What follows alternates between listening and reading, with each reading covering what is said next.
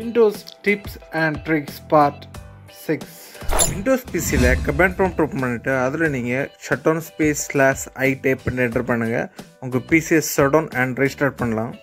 Comment prompt நீங்கள் open பண்ணிவிட்டு அதில் நீங்கள் WMIC space BIOS space get space serial number type பண்ணி என்டர் பண்ணுங்கள் உங்கள் பிசியோட சீரியல் நம்பர் நீங்கள் பார்க்கலாம். உங்கள் பிசியோட பயஸ் என்ன அப்படிங்கிறத கண்டுபிடிக்கிறதுக்கு ரெண்டு ஆப் ஓப்பன் பண்ணிவிட்டு அதில் நீங்கள் MS info thirty two type பண்ணிட்டு ஓகே கிளிக் பண்ணுங்கள் இந்த விண்டோவில் பேஸ் வெர்ஷன் நீங்கள் பார்க்கலாம். கமெண்ட் ப்ரோம் ஓப்பன் பண்ணிவிட்டு அதில் எனக்கு WMIC space OS space get space version type பண்ணிட்டு என்டர் பண்ணுங்கள் உங்கள் ஓஎஸ் வெர்ஷன் நீங்கள் பார்க்கலாம்.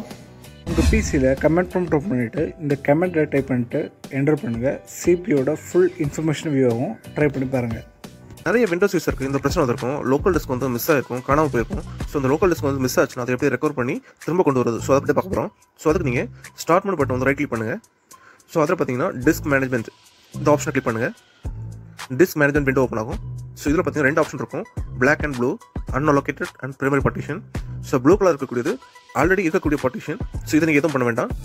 ஸோ பிளாக் கலரில் ஸோ இந்த மாதிரி பிளாக் கலர் இருந்துச்சுன்னா அன்அலோகேட்டடாக இருந்துச்சுன்னா அதை நீங்கள் வந்து ரைட் கிளிக் பண்ணி நியூ சிம்பிள் வால்யூம் அந்த ஆப்ஷனை கிளிக் பண்ணுங்க.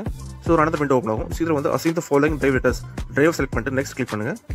அடுத்து நீங்கள் இந்த ஆப்ஷனை செலக்ட் பண்ணிட்டு format this volume with following settings இதை கிளிக் பண்ணிட்டு கீழோட செட்டிங்ஸ்லாம் செலக்ட் இதே மாதிரி செலக்ட் பண்ணிக்கோங்க. அடுத்து நெக்ஸ்ட் கிளிக் பண்ணி ஃபினிஷ் பண்ணிக்கோங்க.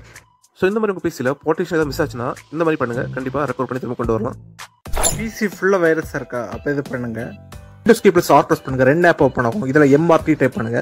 ஓகே கிளிக் பண்ணுங்க. எஸ் கிளிக் பண்ணுங்க. நியூ விண்டோ ஓப்பன் ஆகும். இதில் நீங்கள் நெக்ஸ்ட் பட்டன் கிளிக் பண்ணுங்கள் கேன் டைப் பண்ணி செலக்ட் பண்ணுங்கள் நெக்ஸ்ட் பட்டன் கிளிக் பண்ணுங்கள் உங்கள் ட்ரைவ் ஃபுல்லாக ஸ்கேன் பண்ணி வைரஸை ரொம்ப பண்ணும் ட்ரை பண்ணி பாருங்கள்